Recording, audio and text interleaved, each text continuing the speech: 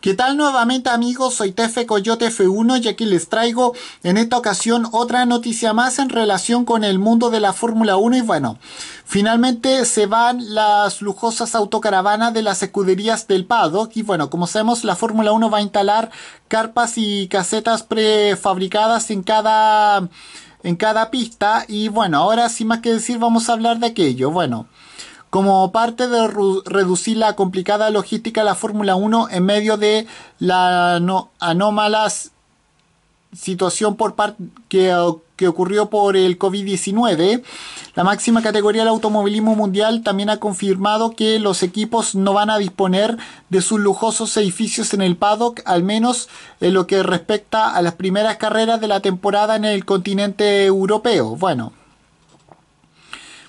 bueno, sin duda alguna muchas cosas van a ser eh, diferentes a lo que se está acostumbrado eh, hoy en día la Fórmula 1 en este arranque de temporada y según confirmó la máxima categoría, eh, los equipos deberán despedirse de tener sus lujosas autocaravanas en el paddock. Bueno, todas estas medidas adicionales están hechas con la única intención de rebajar el riesgo de de que cualquier persona que circule por el paddock podría contagiarse coronavirus y no este y este no es eh, y este no es más que otro esfuerzo de los esfuerzos de la Fórmula 1 para crear el, el, ambiente más hermético y protegido posible a partir de la semana siguiente. Bueno, el jefe el jefe de logística de la escudería Mercedes, Carl Feinson, eh, dijo así.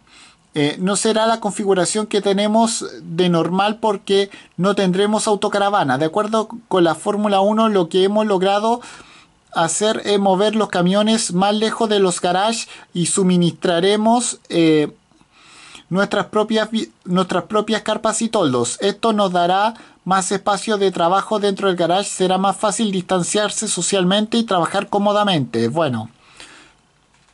Y también va a haber cambios en la recepción de suministros.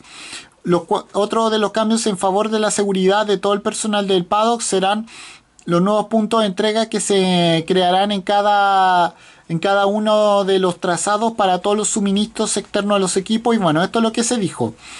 Eh, normalmente enviaremos nuestro combustible al garage y luego enviaremos gente a Pirelli para que recogiera los neumáticos, pero ya no será así. Eh, ahora habrá un punto de entrega y un punto de recolección para el combustible y también los neumáticos. Serán, serán llevarlos a un punto de entrega. Nuestros muchachos irán al punto de recolección, recogerán los neumáticos una vez que hayamos terminado con los neumáticos. Lo devolveremos en ese punto y Pirelli eh, recogerá, lo recogerá una vez que estemos lejos del área. Eso fue lo que también dijo el jefe de logística de la de, la escuadra alemana para finalizar y con esto me despido. Adiós, que me fuera. Chao.